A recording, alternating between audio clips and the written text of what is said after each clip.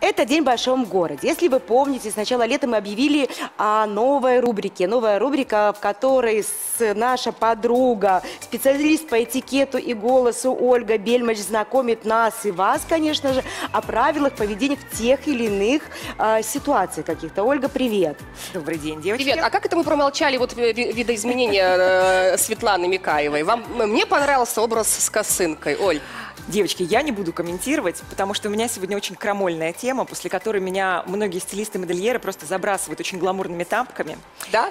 Значит, Потому что- видеосюжет. А нет, вот давай, давай, давай я сейчас поговорим. объясню, и мы вернемся и разберем прям, что было хорошо, что было нехорошо с моей точки зрения. И э, для того, чтобы вы все-таки понимали, почему я именно так говорю, а, я вас немножечко введу в курс дела. Мы с вами сегодня будем говорить о такой отдельной большой теме в этикете, как этикет в одежде. И вы сразу понимаете, как это этикет в одежде, если у нас есть и мода, и стиль. Еще есть, оказывается, этикет в одежде. На самом деле, да, есть три разных блока. И весь ужас в том, что они очень часто говорят кардинально противоположные вещи. Сразу спойлер, их можно подружить, и они, в принципе, очень неплохо уживаются между собой. Но, если вы посмотрите вот на картинку, которая у нас уже появилась, а, скажите, в чем разница? Брови. Брови, конечно. Абсолютно верно. Это наше Теперь всё. скажите, а, какие брови к какому временному периоду, к какому году вы бы отнесли? Ну, ниточки, понятно, это Ретро. 80-е, ретро. А широкие? Широкие это наше время. время. Поэтому, смотрите, мы даже можем говорить с вами не про одежду, а даже про прическу, макияж, маникюр, даже такие вещи будут говорить нам про моду, потому что сама барышня не изменилась, изменились только брови. И сейчас буду рассказывать, в чем парадокс и в чем крамола этих бровей, и одних, и вторых. Дело в том, что есть три разные вещи. Мода, стиль, этикет. Что такое мода? Мода – это вещь, которая заинтересована только в одном – зарабатывать деньги. Поэтому мода очень часто кардинально бросает из одного направления в кардинально противоположное. То есть были длинные носы на обуви, в следующем сезоне сразу хряк, квадратные обрубленные. Были узкие брюки, в следующем сезоне сразу опа и какие-нибудь расклешенные штаны. Была заниженная талия, сразу опа, очень завышенная. И моду так бросает специально, она не заинтересована, это коммерческая вещь. Она не заинтересована в том, чтобы вы донашивали хорошие, добротные вещи. Мода заинтересована, чтобы вы эти добротные вещи выбросили И купили купили новые. новые. Поэтому мода – это история о том, что модно. И мода очень часто не рассчитана на то, а идет вам это, а красит ли вас это. И вот тут на помощь нам приходит стиль. Стиль – это тоже, по большому счету, мода, но там она уже озадачивается вопрос, украшаю ли я при этом женщину, мужчину, детей, в те категории, которые я наряжаю. Поэтому стиль – это история про то, красиво или некрасиво. Но это та же самая мода. Что нам говорит этикет в одежде? Этикет в одежде – это более растянутая во временных тенденциях история. Этикет тоже меняется. Если мы посмотрим, например, на э, барышень, например, 300-летней давности, то какая-нибудь э, служанка могла пойти на рынок за рыбой в кринолиновом платье с корсетом. Сейчас мы в таком платье пойдем только на какое-нибудь великосветское мероприятие, на очень торжественное. Поэтому этикет в одежде тоже меняется, но не так быстро. Если мода меняется каждый сезон, даже не год, сезон, три месяца, новое, новое, новое. И модные тенденции не сохраняются долго. Как правило, это год, два, ну, пять. Самые длительные тенденции – это 10 лет модные. Самые длительные. Дол- Дольше не существует ни одна модная тенденция. Если мы говорим про этикет, то этих тенденций вам хватит на всю вашу жизнь. То есть, если вы выучили в молодости правила этикета, вам до конца вашей жизни хватит. Вашим детям уже придется пользоваться другими правилами, но вам хватит. И тут происходит очень страшная вещь. Почему я буду склонять вас на свою сторону, на сторону этикета. Дело в том, что мы за модой следим, пока мы молодые. Вот пока у нас нету мужа, трех детей, кредитов, дач, э, прополки картошки и всего остального, мы следим за модой. Как только мы стали обременены всеми этими тяготами жизни, мы продолжаем существовать в последних модных тенденциях, которые мы застали. И я по этому поводу всегда привожу в пример свою соседку по лестничной площадке. Очень эффектная женщина, очень следит за собой, вкладывает огромные деньги в свою красоту, в кожу, в молодость и так далее. Но я потому, как она одевается, могу сказать, что ей не 60, на которой выглядит, а 80. Потому что она и в магазин, и мусор, она выносит в следующем виде. У нее такие букли, жестко так накрученные, ленточка в волосах, жирные стрелки, как в 60-е, яркие красные губы и такое даже платье немножко прикорсетенное, такое немножечко пышное, как носили вот прям один на один 60-е. И мы сразу видим, несмотря на то, что лицом она выглядит на 60, одеждой, прической, макияжем она выдает, что ей 80. И, собственно говоря, вот сейчас возвращаемся к этим барышням, чтобы они не чувствовали сейчас свое превосходство, молодые барышни по отношению к моей соседке и, и может быть, даже где-то ко мне.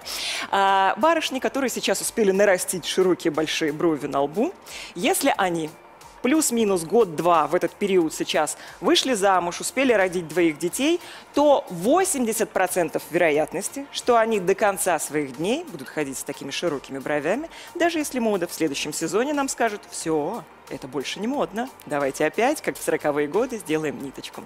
Именно поэтому я предпочитаю этикет в одежде.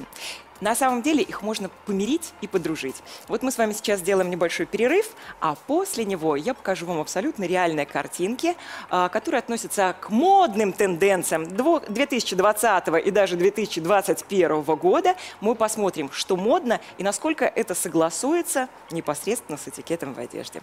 Ну, женщины большого города, добавим пищу для размышлений, ну вот про моду, не моду, этикет. Э, что такое худи? Это модно, это согласно этикету, это вы должны иметь в шкафу или нет, нам расскажет Светлана Кейзерова. Сегодня слово «худи» мы слышим из каждого утюга. Что же обозначают этим словом? На самом деле это всего лишь толстовка из трикотажа, либо флиса с капюшоном. Спереди еще может быть и карман. А объемное худи, пожалуй, может стать символом эпохи, времени, в котором мы живем. И сегодня я покажу вам самые горячие образы с худи, которые вы легко воплотите в жизнь. Худи и пальто – это мало того, что модное, но и действительно практичное сочетание. Если пойдет дождь, вы не промокнете. Такой дуэт делает образ эклектичным, особенно если пальто строгое. Важную роль играют аксессуары. Они помогут вам уйти либо в спорт-шик, либо в casual, в зависимости от цели, которую вы преследуете. Худи и джинсовка – это очень драйвовое сочетание, позволяющее проявить себя в амплуа дерзкой и уверенной в себе женщины, которая верна себе и не гонится за трендами. Здесь особенно важно подобрать объемную джинсовку, чтобы она не облегала, и крутые черные очки. Тогда все заиграет на 100%.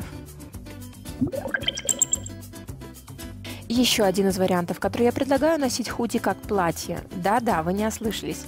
Объемное худи лишь подчеркивает хрупкость и изящество нежных женских форм.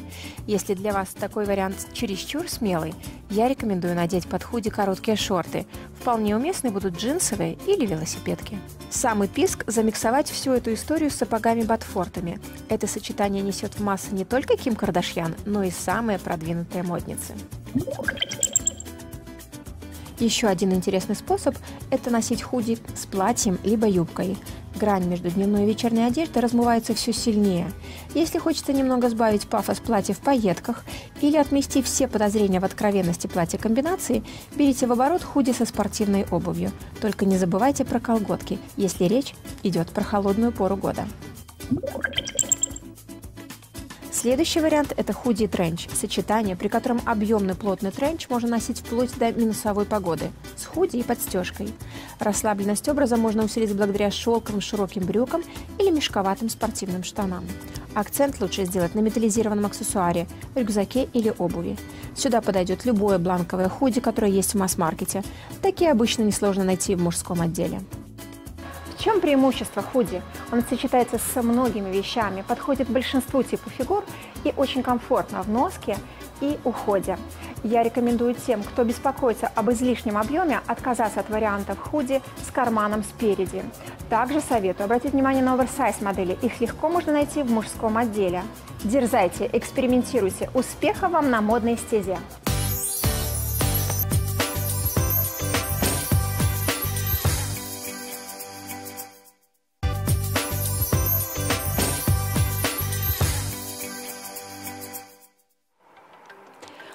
Оль, ну как тебе сюжет?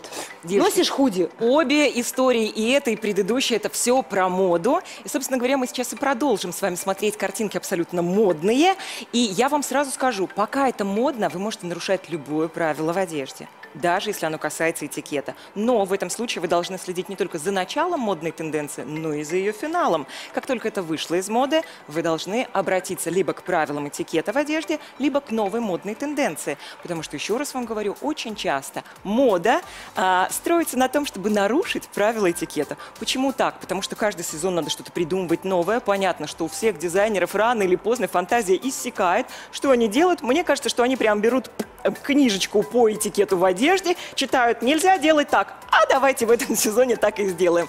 Поэтому мы сейчас будем смотреть, что же модно в этом сезоне и даже в следующем, и заодно разбирать, какое правило в этикете здесь нарушили, и будем его нарушать ровно столько, сколько это будет модно. Как только выйдет, мы будем знать, что так делать нельзя. Итак, первая картинка.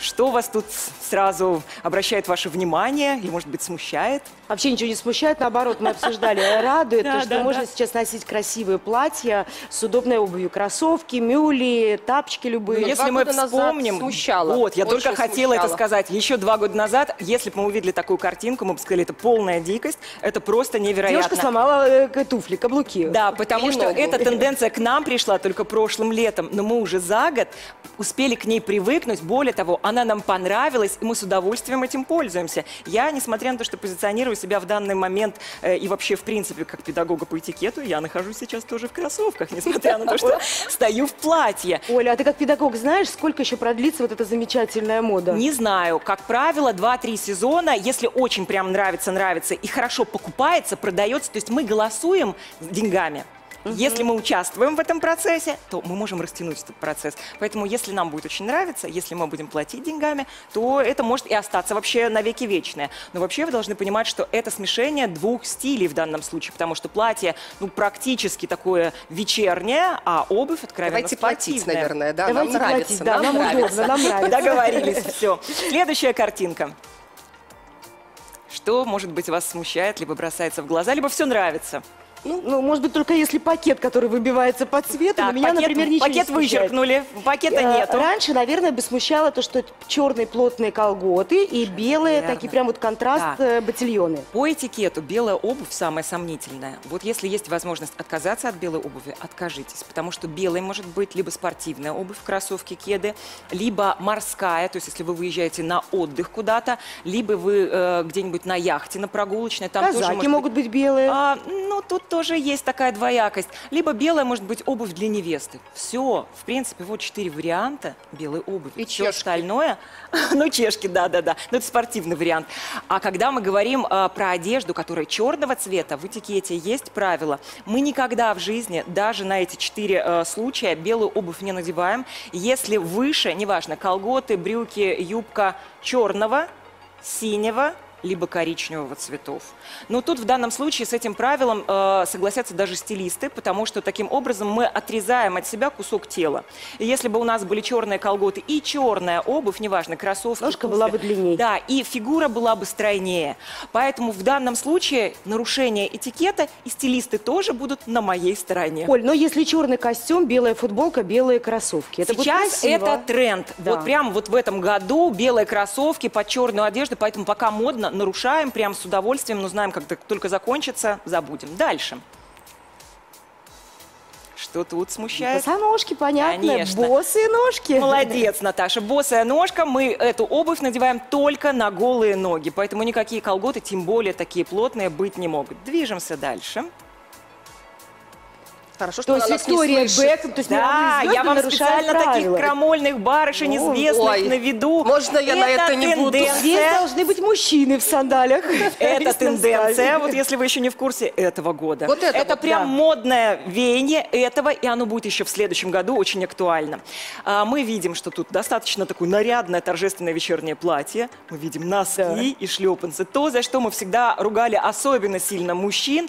И если вдруг какие-то барышни грешили этим где-нибудь где-нибудь на отдыхе, то это сейчас модная тенденция. Но это может только в гараже ходить, вот как она. Нет, нет, Видите, нет, она нет, не нет. в городе. Я почитала, вникла специально. Это не просто она вот так случилась, это выход в свет. Она реально так Конечно. может выйти на улицу, и не одна-одна. Там на самом деле очень много уже э, Оль, и у известных- нее там э, 150 миллионов подписчиков, Да. и 150 миллионов купят именно эти носки. Конечно, как раз она является транслятором модных тенденций. Один раз сделав вот такой вот э, Проводник в мир моды. А до этого на три года ходила в прозрачных, клеенчатых, э, простите, не сапогах, не босоножках. Не понять, что, что. вы хотите сказать, что так сейчас не носят барышни? А к нам даже еще это не докатилось. Более а того, она Оля укатилась. Она ввела в моду даже было. какие-то выдающиеся части. До нее была выдающая часть другая в Да. моде. Да. Она Глаза. сменила. Дальше, следующая картинка. Что тут вас может смутить? А, ну, ничего так.